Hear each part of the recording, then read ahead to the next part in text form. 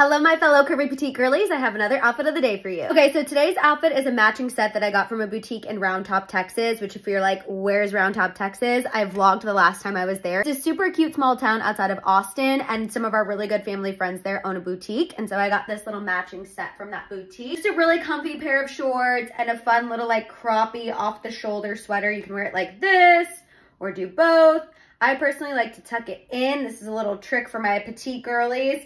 I feel like showing a little midriff with a high-waisted short always makes our torso look a little bit longer. And then if I need to go anywhere, I'm just gonna pair this outfit with these Reef platform sandals. I bought these last summer for my Greece trip and they are one of the best Amazon purchases I've ever made. They are so comfortable. They look really cute. No blisters, arch support, all the stuff. You can dress them up, dress them down. Also went with some bigger hoops today. And yeah, that's today's outfit of the day.